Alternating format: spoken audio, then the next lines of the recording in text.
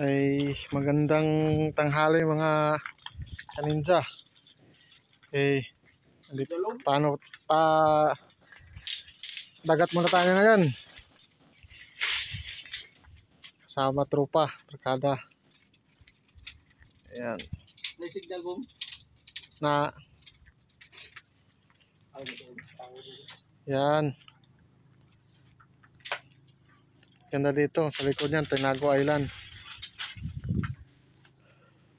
So ngayon, saing muna. Sugba. Tsaka ano mangunguha tayo ng isda ngayon. Ang tropa.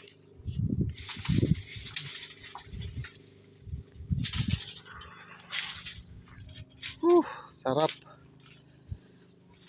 Presko